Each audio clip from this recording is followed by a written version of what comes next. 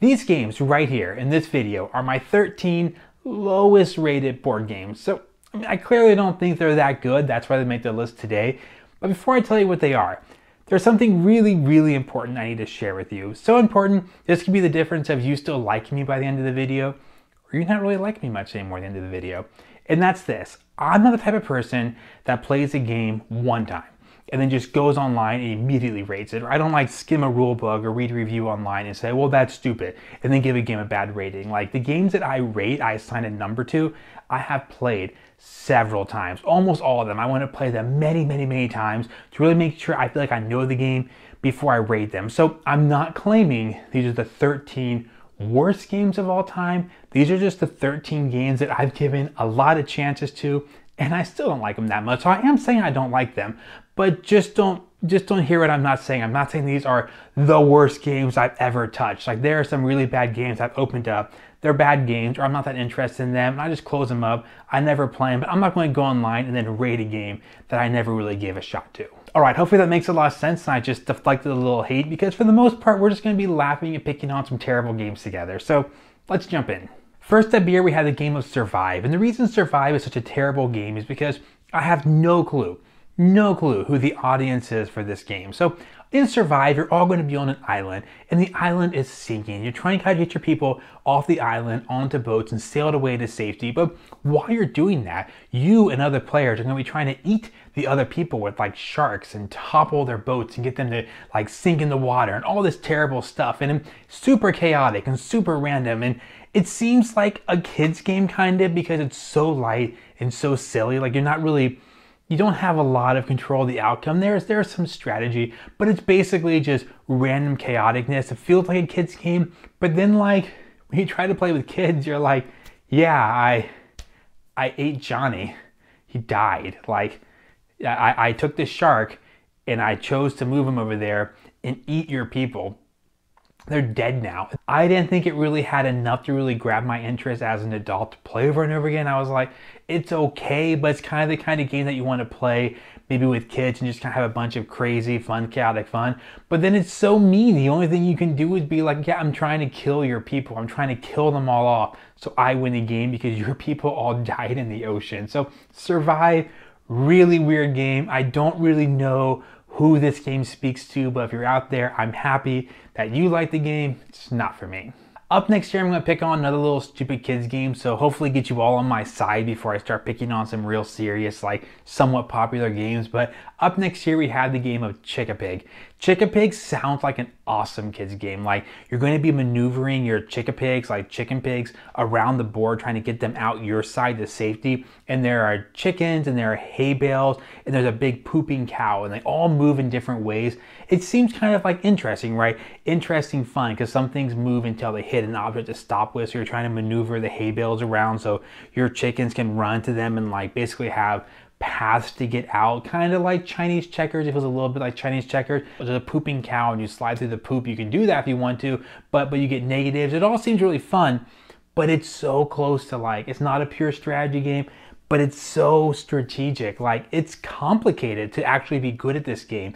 It's not a game that's like made for kids. You could sit down with like a wise old man and sit there at a park and like stroke your beard and plan out like the next 15 moves and like one little hay bale placement makes such a big impact because you could block your opponent or it could open up a route for you to get your Chick-a-Pigs out. It's like such a complicated strategy game that feels like you're playing you're playing chess with like chickens and pooping cows, but but not a lot of adults who want to play games like chess are going to want to play a pooping cow Chick-a-Pig game. And for kids, it's like you kind of get into it and it's hard to mask the strategy. You can just be like, oh, we're just kind of having fun being goofy. But yeah, you didn't plan a route for your Chick-a-Pigs to get out. So it's really hard for you to win now. You're just going, even if you just give them so many extra turns, it takes them a long time to maneuver their pieces out because it ends up being really complicated. So Chick-a-Pig looks like a fun game for kids, but kind of like Survive, I just don't know who the audience is for this game. Okay, two games in, and I'm worried that I haven't made anybody mad at me yet, so we're going to go right after one of the most popular games on the list, and that is Splendor. Splendor is not a great game. I, I don't get what the Splendor appeal is. This one makes the list mostly because it's a game that seems like people like, and I just don't think it's a great game. I, I, I, mentioned it in my best games you can get at Target right now because it's there. I mentioned this is a game that maybe you would like if you would possibly could be interested in this kind of game, but it's just one that I don't get. Like, I don't really enjoy playing Splendor that much. I would much rather just play a simple card game. If you just want something light and fun and fast, and that's why the reason you play is something fast and simple, I would rather just like play Rummy or play just a classic card game or just like greedy, a, a fun like quick dice game or something. But uh, it's like want to take a light game and make it just a little more complicated, but still pretty light random game. Like, I don't know, Splendor, not the game for me. Okay, so Splendor has a ton of mass appeal, but the next game up here has a smaller audience, but if you like it, you probably love it. And that game is Eldritch Horror. But unlike Splendor, I can appreciate why people like Eldritch. It's a game that I think just doesn't do lots of my core preferences in games like co-op or co- competitive. I, I, co-op is fine. I prefer competitive. Kind of like more interesting mechanisms, or do I want like more narrative stuff? Like I prefer the mechanisms. It's more narrative. It just kind of goes against a lot of things I really want out of the game. Actually, the number one thing I don't like about Eldritch is I feel like there's a lot of overhead with the rules without giving me a ton of things I can do. There's just like all the different things that kind of happen to me, which I think some people like. They kind of like being drawn to that narrative world, and they're just like, oh, I'm going to just try to learn this spell and you roll dice. Oh, apparently I got lost in time and space. That's so interesting. Like, it's not my thing. It's fine. But you know, it, it, it's okay if you like it. I do videos on this channel often with Joel and Cassie, and they, and they both like it. So you can be wrong with them. More more than one people can be wrong about this game. But I mean, again, I, I think it, this is probably the best game on the list. I think it's actually a good, a great game, but it's just not a game that vibes with me at all. Up next here, we're going to talk about a little older game, a pure strategy game called Hive. And Hive is a game that I don't really get. But unlike Splendor, like Splendor, I don't get why everyone likes Splendor so much. Hive is a game that I don't get why I don't like. Like, it's a pure strategy game where you're placing these bugs out there, and the bugs have different movement patterns depending on what kind of bug they are, and you're trying to surround your opponent's queen bee. And one really interesting it does is like the bugs have to stay in a continuous kind of hive, a continuous chain all touching each other. So sometimes your movement's restricted, or you can restrict your opponent's movement by certain bug placements that force them to, well, they can't move this piece because that breaks up the hive. It does some interesting stuff I just don't enjoy actually playing it. I think reading the rules, I'm like, oh, that's cool. And like the idea of it's cool. And I'm okay with pure strategy games. I don't play a ton of pure strategy games. I mean, I like chess. I think Santorini is fun. Um, I have some that I like, so I feel like it should be a game that I at least enjoy. And I just, every time I play Hive, I just kind of go back to maybe I'll like it. Like I feel like it's a game I should enjoy and it just doesn't click with me. Again, I'm not blaming the game. This is more just on me. I just feel like it's a clever little game that I should like, but I don't. Okay, we have one more game kind of in this moderate dislike territory before we move on to some games that are really at the bottom of the barrel that I really don't like. So this next game up here is Pendulum. And Pendulum is a game that I think I should like. It has worker placement elements. It has some like traction moving up, trying to score points on your player board, and it has a real-time element, which I know some people hate on this game just because they don't like real time. And I, am not a fan of that. Like I, I don't think you should just see a game as real time and then immediately go give it a bad ranking. Like if you don't want to play a game that's real time, just don't play a game that's real time. I'm okay with real time games. The thing I don't like about Pendulum is I felt like the, the exchange of resources, like I just feel like, okay, I'm gonna get some blue stuff and trade it out. Was it blue? There's yellow, red. I don't remember what the colors are right now. Yeah, yellow, red, blue, maybe. I, I want to get some of the red stuff and I'm to turn it out for this, this war points here. Okay, so I'm to get some of this resource here and then trade that out for these points here. It just felt very laid bare, the mechanisms. Maybe it had to be because the real time there was already a lot going on, but I guess I want a little more like, veiledness to the mechanisms. It was just very much like, yeah, that spot spot there it gives me the blue stuff, and I need the blue stuff to get the blue stuff there that I get victory points for. So Pendulum, not my favorite game. It also then just has all the the the common problems with real-time games. If you're not a fan of them, then these things like oh Hoopla Time are there first. There's a few ways to resolve that in the rules, but it's still going to be an issue with some people who just don't like real-time games. So I don't have a lot of people I can play this game with. And then I personally, I'm just I, I, I don't love it. We are now going to move out of the moderate dislike territory and get into some games that, like I said, I have played many times. These games are on this list because I've played these games many, many times and I really don't like them. So if you watched my channel once before, you might have had a good sense of this one's going to make the list at some point. But up next is, of course, Dungeons and Dragons: The Legends of Drizzt. This game takes away all the story elements that some people like out of D&D and just makes it let's move our guys around this little dungeon. Bad guys will pop up. You're going to roll dice and you hope you get the numbers to kill them before they kill you. So if you watched my channel much before, you already know that I'm not a big fan of just dungeon crawls, especially pure dungeon crawls, just straight up, I'm trying to roll these dice. Oh, I didn't roll the bow and arrow. I missed, okay.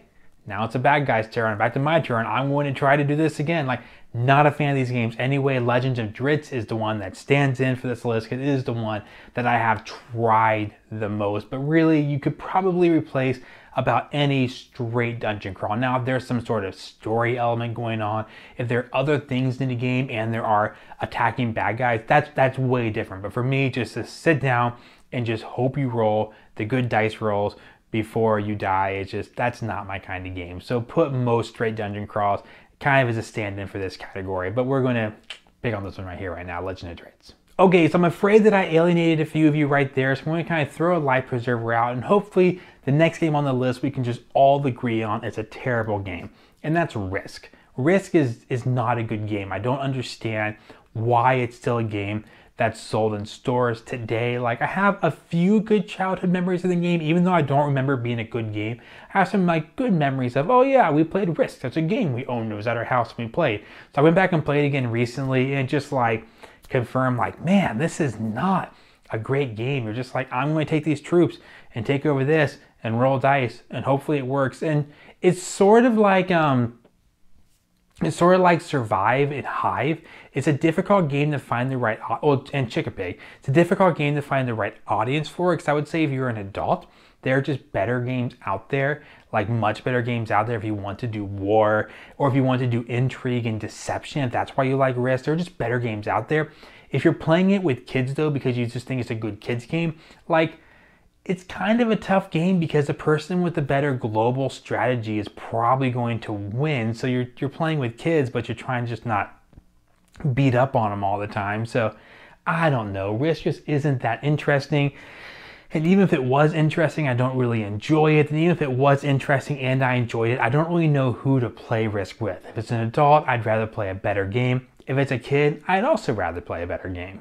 Okay, up next is actually a dexterity stacking game called Mega City Oceania. And I was oddly excited about this game and I got it. I got it for a really cheap price and I was like, I kind of been I kind of saw the store like for months and months and months, maybe even like over the course of a year. I remember kind of saying like, oh, that looks really, really fun, like a stacking game, but there's like cards to kind of tell you how you're supposed to do the stacking. And and I finally I think one day it was on a really good sale, so I got it and I was super excited and I just kind of read the rules and I was like, oh, this doesn't seem fun at all. Like, okay, make a little like bridge shape out of this. So you're like, cool. Now try to keep stacking it higher. You get points for the highest building. So you're like, okay. And then of course someone bumps the table and it knocks it down, which always happens in stacking games. And there's like how you acquire pieces. Okay, probably the worst part about the game is how you acquire pieces is you randomly pull your hand to a bag and pull them out. And it's like, well, you can't really tell which ones are which, but you can. Like, you're trying not to cheat, but also you really need some flat pieces to like make a new support structure. reach your hand in that bag and you can feel the flat pieces and like those types of things. You're like, how do we fix this? But it's like, I'm not going to tell you, have someone else draw for you, but they could intentionally give you things that you don't need. And but then the actual things you do in the game, the mechanisms are, not that interesting.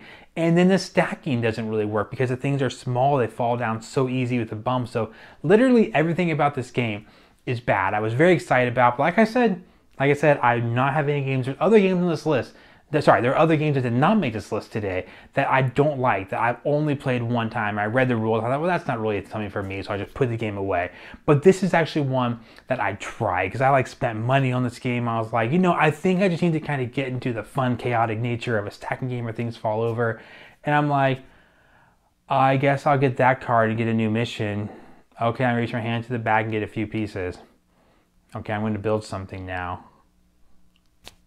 It's it's not a fun game. Next up here, we are going really classic to a game that I really, really don't like. Scrabble. I don't like anything about the game Scrabble. Like, first of all, if you're trying to play to win, it takes a long time. And I'm okay with long games. I'm okay with games that take multiple hours if we have really cool, interesting things we're doing, like back and forth, like war games type of things. But but Scrabble can take hours because people really want to win. And the way they win is by going and staring at their words for a really long time. And the further you get into the game, the more it slows down. Every round of Scrabble starts out, oh, it'll be fun. I'll put a few fun words out there. Then someone starts looking at the score and realizing if I can use all these letters, I can get that Z out there on that triple word score. I'm going to win, and the game just drags to a halt. So you kind of have to have a timer on people, and nobody wants to play a game like that with a timer. And then you have the dictionary issue. Do you have to have the word in your brain? Yes, that's the only good way to play this game. But if you're someone who's like, okay with a dictionary, then you're going to be sitting there flipping through the dictionary trying to find words, or they're going to put a word out there that's crazy, then look it up and be like, oh, that one doesn't count. Okay, put another word out that's crazy. Does that one work? Nope, that doesn't count.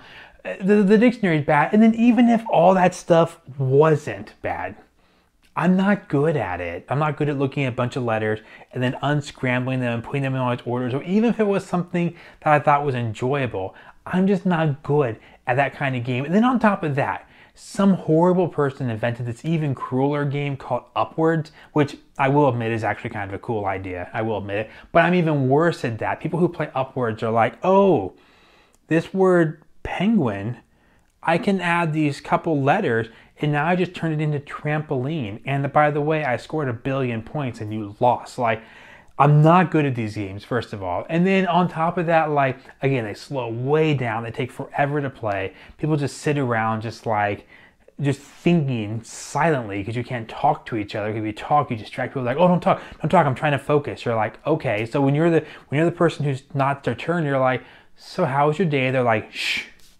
I'm thinking. So terrible games. I don't want to just sit around silently with someone and play a game that ends up taking a really long time, that's not fun, doing something I'm not good at doing, and arguing about which words are in a dictionary. Scrabble, terrible, terrible game. Stop, stop selling it. Just take it off the shelves. Up next here we had the game of Monopoly. And if you weren't aware, Monopoly is not a good game. And I have two reasons for you. First of all, the game itself is not great. Now I do give Monopoly a lot of credit because you think about it was made in like the 1930s, what games were around back then, it probably did do a lot to kind of the board game hobby to to open up the world of all the different mechanisms that can go on. We don't think about Monopoly in these terms anymore, but it did do a lot of cool things with board gaming for how old it is. But modern day, I don't know. I mean, I, I would say it's not relevant, but it's still sold a lot. People still seem to like Monopoly. But Monopoly itself is not a great game. But the second reason it's not a great game is because you have to play with other humans and not everyone's on the same page when you play Monopoly. Like there'll be someone there who wants to play Monopoly and just kind of have fun, roll the dice. It's basically random anyway what happens whether you win or lose. They just want to roll the dice and have a good time and go around, collect properties. That's the game. Someone else views this as their practice negotiation because they love being a salesperson and just twisting people's arms and they and they play for like the intense I want to coerce everyone to these great deals for me and I want to win. And you play this game and I'm kind of just like in the middle, like, hey, we can play to win, but like, why is everyone getting mad at each other? And it just, no one ever gets along in Monopoly. It needs to be 30 or 45 minutes and it takes like a long time.